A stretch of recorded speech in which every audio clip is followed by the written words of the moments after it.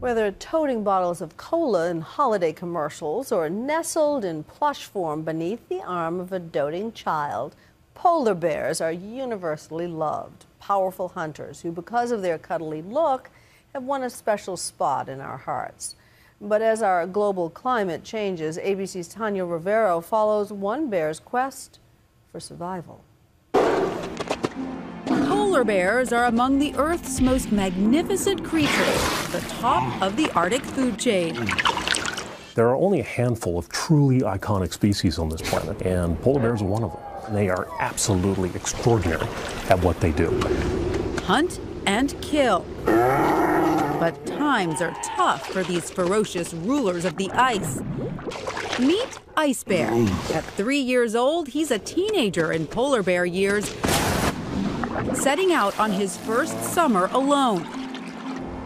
But along with the thrill of independence comes the challenge of survival as the ground beneath him melts away. Last year, the extent of sea ice lost during the summer was the greatest ever, ever recorded. How could his mother possibly have prepared him for such a drastic change in his environment? Ice Bear needs to eat at least 40 seals to make it through the long summer months when polar bears go into a state of semi hibernation. And a few generations ago, he would have had another month of spring to hunt. Polar bears are very strictly tied to the ice. Their main food is a ring seal. If the ring seal goes away, if the ice goes away, their basic forage base goes away. Nearly 2,000 bears live in Canada's Hudson Bay. Each year, when the ice melts, some head south, swimming 300 miles to find a summer home. Along the way, the scent of walrus is too enticing to resist. But taking on a tusked creature more adept in the water means coming away with only a bloody nose. Ice Bear continues swimming, reaching land after 10 straight days without sleeping or eating. Unfortunately, it's a sweltering 82 degrees. Pure misery.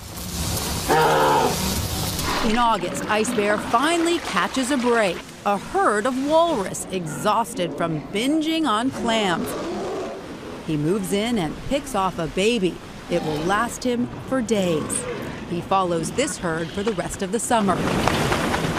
As the temperatures finally begin to drop, Ice Bear encounters a pack of dogs. And something amazing happens. Instead of attacking his known enemies, he seems to seek their company. He's been on his own for a very long time has been struggling to survive, it looks like he really gains a measure of comfort in the company of these sled dogs. Finally, in December, sweet relief, winter has returned. Ice Bear has survived the long, hot summer on land, one of the longest on record. The polar bears serve as the apex predator, and their function is to control and to balance that system.